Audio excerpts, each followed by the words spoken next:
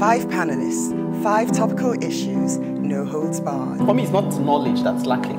It's that greed, it's that mentality where you feel you deserve to take your own and take it infinitely and let everybody else just manage however they will manage. We're almost becoming hardwired to try and cheat. I would, you know, suggest that we begin to hold our leaders accountable. There was a time in this country when yes. things actually work. I don't think that any organization should be above the law. And I think one of the challenges we have in this country is about governance across the board. But what I'm saying is that it doesn't really affect us in Nigeria. That's it, really it, does, it, does, it, does. I don't know what we can do if the system is already corrupted. We've been warned as a continent of the influx of the Chinese.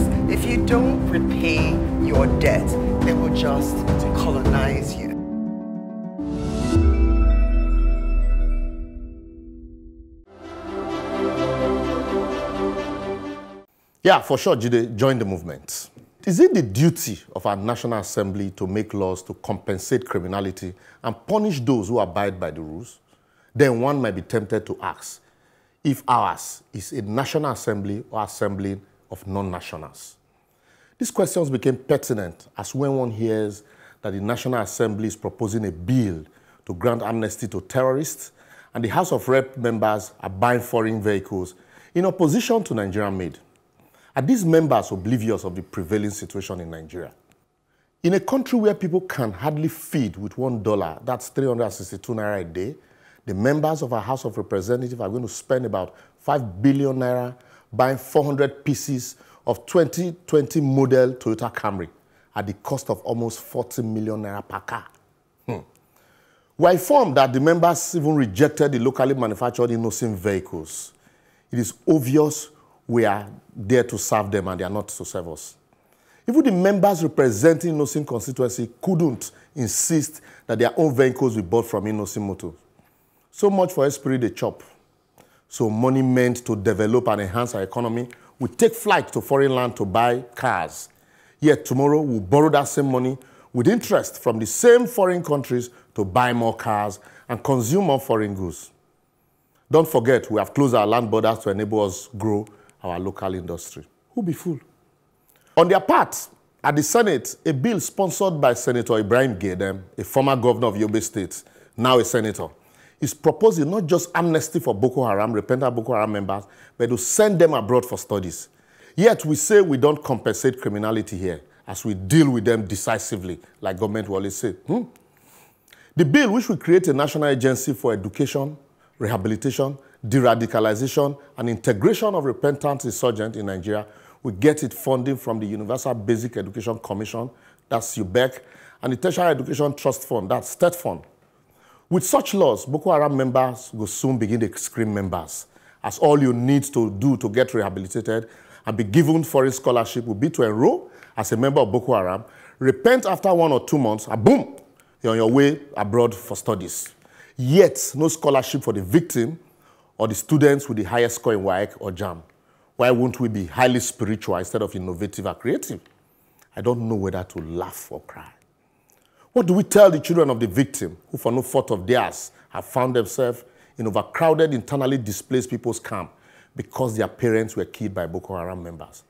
And that the same state that cannot guarantee their parents' safety is busy compensating the killers of their parents with foreign education. Yet we expect such kids not to take up arms against the state tomorrow. We're all a bunch of jokers. What will you tell the parents of Leah Sharibu or the mother of the abducted schoolgirls in Dapchi or those from Chibok, majority of whom are still in captivity today, or the parents of the boys slaughtered in their sleep in the secondary school in Buni Yadi, that why the states that couldn't bring the killers of their ward and captors of their daughters to book, those arrested by the state are being compensated with salaries and foreign education. Yet a senator sponsored this bill. Make we fear God, oh. If we are rehabilitating and educating and reintegrating the terrorists, what happened to the victims, who are increasing in their numbers by the day? Have they been rehabilitated? Have they don't need rehabilitation? How do we dance on the graves of our servicemen and women who have died, some carelessly, in the fight te against terrorism with such an idea and hope to prosper as a nation or find peace with our conscience and maker?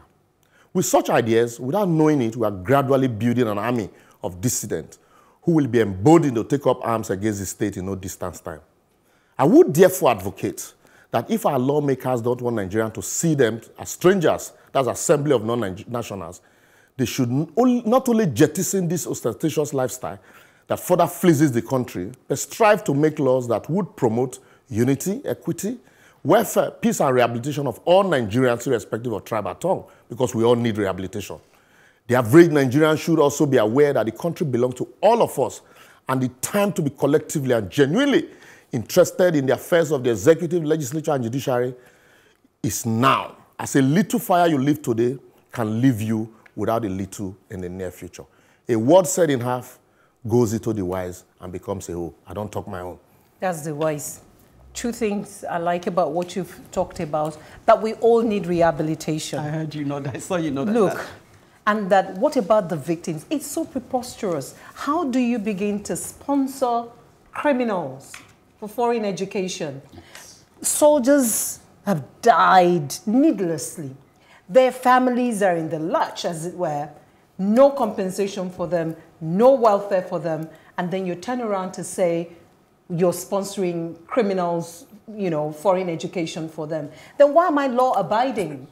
Why should I be law abiding? And then look at these jokers at the National Assembly. You want to buy a car, 4 million naira, be 40 million. 40 million.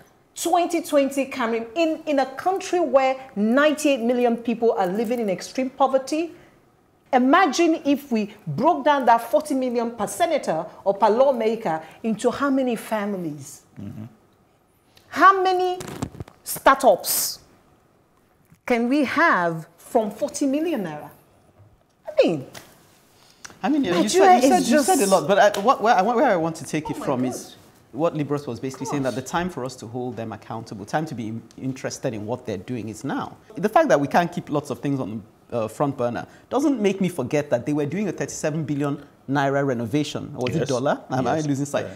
Of the house, the same House of Assembly. So yes. it's like they're pushing all the wrong buttons. So clearly they're not there to serve us we need to be able to say, look, all these bills, which one has worked in our favor? You have the hate speech bill, which we, we all shouted against. You have the rehabilitation bill. Billion, you know, yes, you have all yes. kinds of crazy things now coming out. You one. have the Camry, you know, push. So, so what is it that you're really doing that we can say, oh, these people are fighting for us? I even want to take it from something that you said about what they are going to breed. I mean, in the world of okay. comics, for okay. example, they are called vigilantes, and eventually they are going to build vigilantes who will be determined to bring these people to justice, right? And I like the fact that in the world community today, you see a lot of leaders who are called to justice for all the horrors, because this is war crimes. Yeah, these are war crimes to humanity. You cannot send murderers. I'm sorry to use the word to, to school you, abroad. To school abroad, like you said, yeah, there. victims. when victims people who have gone to school with no provision, you have not provided. Yes. They've gone to school. They have scholarships. They can't. I know somebody, for example, who is in the UK, who was supposed to get a scholarship from the government, right?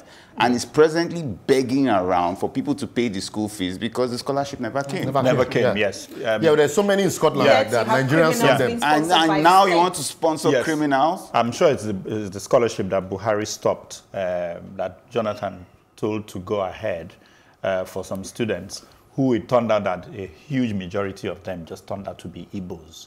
And so when, when Buhari came to power, yes. he said, why, why is it that you have a scholarship scheme for 40 people? They're all Igbos. And he said, we have to redo it in national character. But meanwhile, oh, it was actually joking. done, no, meanwhile, it was actually done as an open, let's yes, call it an open tender based. first. Yeah. And then people came forward. I'm sure some people came from Katsina as well. Yes. They didn't get the scores. And then all of a sudden, these guys have gotten oh, it. Instead of you to just let it. It was a very funny thing. is, they in, they've already been enrolled to and they've already been enrolled to They've signed legal documents. I mean, and now you have people's children owing close to 34,000 pounds for school fees with no means of paying them. Yeah, no stranded in, yes. in Scotland. Stranded in another yes. country. Because people have even argued. But, sorry, Chuka, But, but what I was going to say, which is a bit of what Jide has said, is that there's a very, very strange madness that's coming from a clique of people that have come into power with Buhari.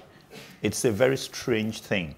And the, this country hasn't seen this level of madness before, where things are just happening and it's like, it can be true. Like this can be true that terrorists can are going to really go abroad to this? school. Yes. yes. We've never seen this sort but it's like they before. Don't, they don't seem to care what we say. They don't want to go something. Yeah. Something has gone very, very wrong with a set of people that came with him. And that's why you find that that I can tell you authoritatively that everywhere now, go, the, nowhere is safe again. And the only way we can correct this thing that's is to go back to our elections and our electoral processes mm.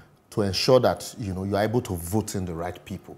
If, until you do that, these people are just I think we should be, be more interested now in those who are in the yes. legislature. No more just everybody, focusing on president. Everybody. Does that legislature have the power how to make vote and make? Uh, how do we vote in the right people? No, we, we need to put ourselves forward to be in the legislature. We, yeah, exactly. Put, put ourselves yeah. forward to be in the legislature. We have to be very intentional yeah. about yeah. it. Yeah. And, you know, persistent. Yeah. Half a word is enough for the wise. Time to add your words to ours to make us wiser. On what's the value of the Nigerian life, Babatunde Odebeyi says the advocacy intro is well articulated and very informative. However, I disagree with the general consensus as repeated by the panelists that the Nigerian life means nothing. In my own candid opinion, the value of the Nigerian life means less than nothing.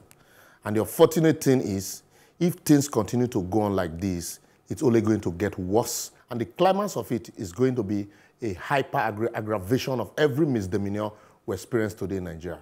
From armed robbery to wanton killing by terrorists and the ruthless mayhem by the headsmen, to say the least. Sadly, the millions of gullible people who have been cultivated as slaves through hunger, ignorance, or at least a dysfunctional education who cannot be bothered by reason to hold their leaders accountable will ultimately be compelled by the aggravated hunger and wanton suffering to avenge their mistreatment of the ruling class. This is called the revenge of the poor.